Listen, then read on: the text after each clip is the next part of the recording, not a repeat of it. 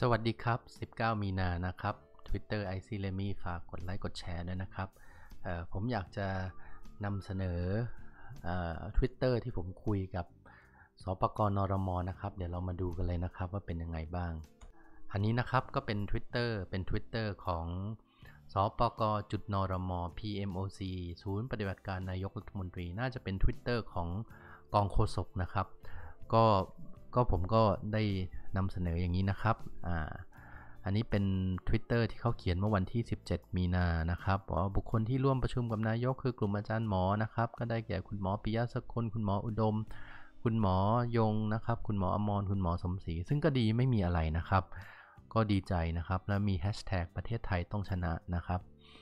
ก็ลงไว้เลยให้ดูเลยนะครับว่าไม่ได้ไปโกหกหรืออะไรทั้งสิ้น เขาเขียนเมื่อเวลา 8.59 PM นะครับวันที่ 17 ปี 2020 ผมก็เลยเขียนไปถามนะครับว่า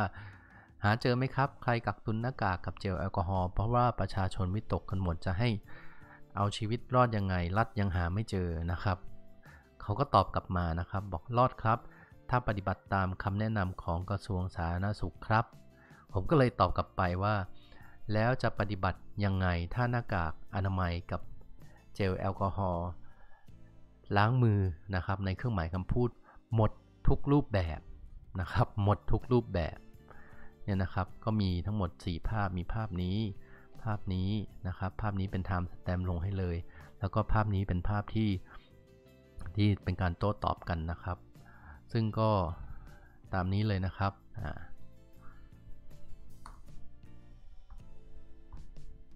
นะครับ ก็ ก็อยากจะทำให้อยากจะทำให้เป็นหลักฐานว่าปัญหาก็คือตรงนี้ครับ ปัญหาก็คือว่าหน้ากากอนามัยกับเจลแอลกอฮอล์เนี่ยมันเป็นของสองสิ่งที่สำคัญมากที่กระทรวงสาธารณสุข แนะนำว่าต้องทำและต้องมี เพราะคุณต้องใส่หน้ากาก ถ้าคุณออกไปอยู่ข้างนอกเสี่ยงในการติดเชื้อโควิด -19 คุณต้องมีเจลแอลกอฮอล์ล้างมือในการที่จะทำตัวให้สะอาดไม่ไปแพร่เชื้อคนอื่น มันเป็นของสองสิ่ง มันเป็นอุปกรณ์ อุปกรณ์เพื่อรอดชีวิต2สสิ่งที่คุณต้องมี แต่รัฐยังหาให้ไม่ได้เลยนะฮะมีไอ้โม่งกักตุนอยู่ที่ไหนก็ไม่รู้